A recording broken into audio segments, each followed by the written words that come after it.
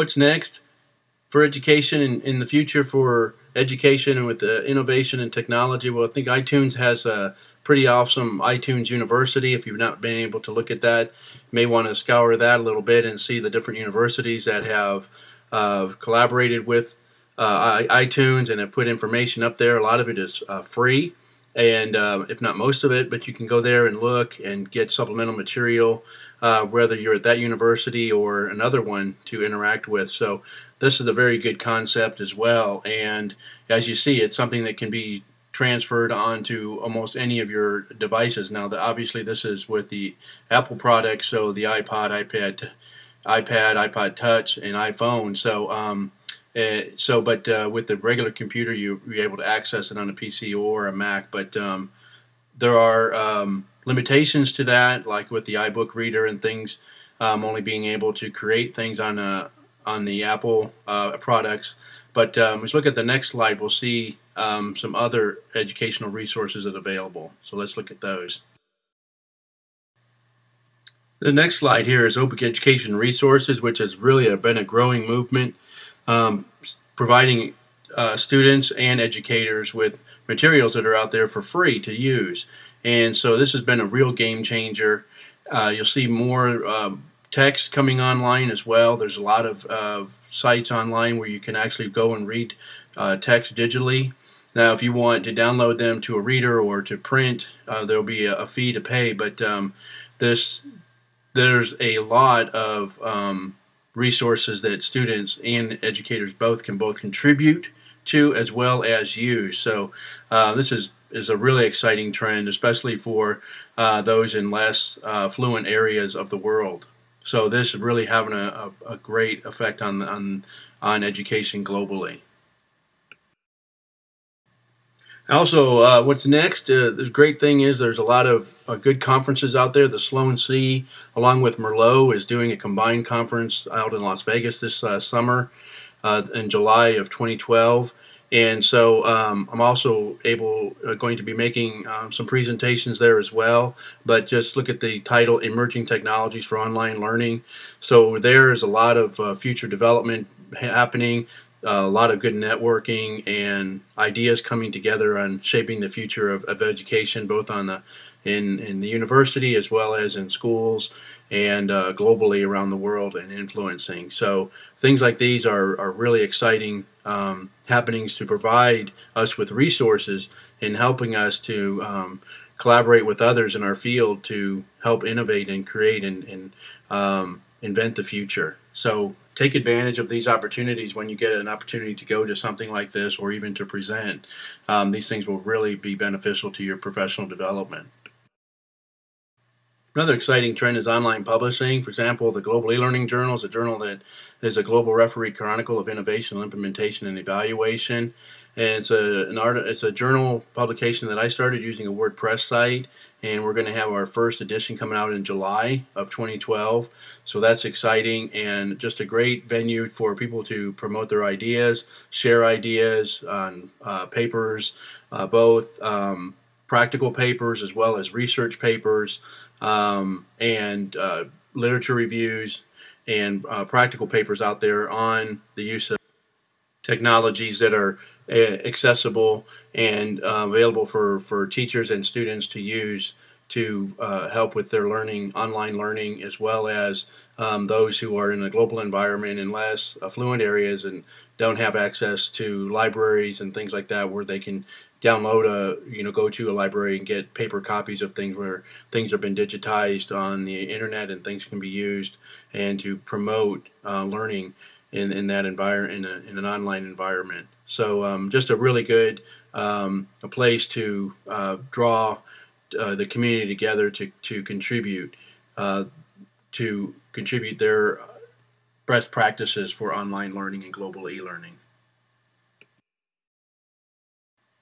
Well, as we think about what's next and your opportunity to decide, this is just the beginning as you're going to be shaping the future of education here before you know it. Uh, I think that um, it's good to always look back and to think through of where we've come from. And so I've put on the next slide a video of the Knowledge Navigator was developed in 1987 for a um, EDUCOM conference that Apple had done with um, uh, one of their CEOs, uh, Sculley, John Sculley, who was the CEO at the time, and showing the future of what um, computing may look like and even even a, a, futuristic idea of the iPad from um, Alan Kay's vision in the 60s of the Dynabook. And so it's really kind of neat to look back and see that from 1987 and realize where we are now with uh, our mobile devices speaking to us and all this sort of thing and seeing where we're going to go in the future. But this is just something kind of neat I think you'll enjoy. It's just a couple minute uh, brief video. But as you go uh, forward from this course, I hope that you will continue to um, to envision and dream and think of innovative ways in which we can um, continue to develop and innovate to deliver our content to those who um, we're communicating to, our students or our trainees. And so um, there are many, many ideas out there. We have just barely scratched the surface on a lot of the programs and the apps and the software, hardware issues and things like that. There's just so many, and really wasn't the point of this course to be able to do all that, uh, to go through each and every one, but just to kind of give you a broad spectrum and paintbrush of what is out there and for you to um, consider and evaluate those and analyze which ones would be the best for you to use in your uh, teaching enterprise. So I hope you enjoy the next video and then with that we will end this session. Thank you.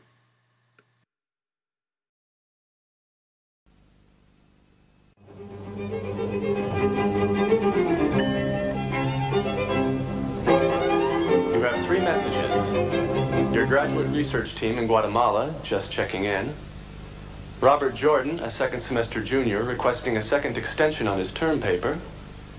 And your mother reminding you about your father. Surprise birthday party next Sunday. Let me see the lecture notes from last semester. No, that's not enough. I need to review more recent literature. Pull up all the new articles I haven't read yet. Journal articles only? Mm-hmm, fine. Your friend Jill Gilbert has published an article about deforestation in the Amazon and its effects on rainfall in the sub-Sahara. Contact Jill. I'm sorry, she's not available right now. I left a message that you had called. Okay. Let's see. There's an article about five years ago, Dr. Flemson or something. He really disagreed with the direction of Jill's research. John Fleming of Uppsala University. He published in the Journal of Earth Science of July 20 of 2006. Yes, that's it. He was challenging Jill's projection of the amount of carbon dioxide being released to the atmosphere through deforestation. I'd like to recheck his figures. Excuse me. Jill Gilbert is calling back. Great. Put her through. Hi, Mike. What's up? Jill, thanks for getting back to me. You know, I have a simulation that shows the spread of the Sahara over the last 20 years. Here, let me show you.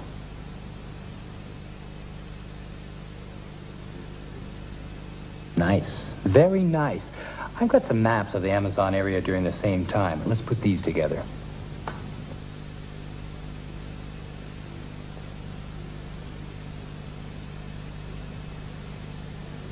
Interesting. I can definitely use this. Thanks for your time, Jill. I really appreciate it. While you were busy, your mother called again to remind you to pick up the birthday cake. Hmm? Fine, fine, fine. Um, print this article before I go. Now printing. Okay, I'm going to lunch now. If Kathy calls, tell her I'll be there at 2 o'clock. Also, find out if I can set up a meeting tomorrow morning with, um, Tom Lee. Enjoy your lunch. Hello? Professor Bradford is away at the moment. Would you like to leave a message? Michael, this is your mother. I know that you're there. I'm just calling to remind you to call.